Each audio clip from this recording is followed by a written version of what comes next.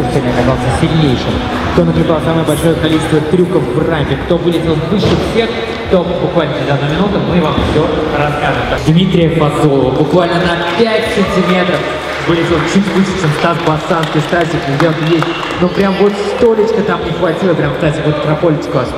Третье место досталось Дмитрию Краснову. Поднимайте вперед.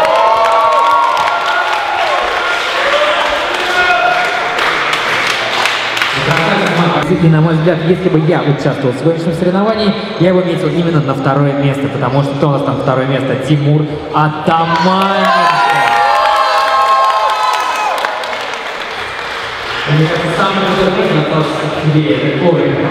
Вы уже видели его на этом пьедестале. Дмитрий Фазов, ну как обычно, первое место. Так, друзья,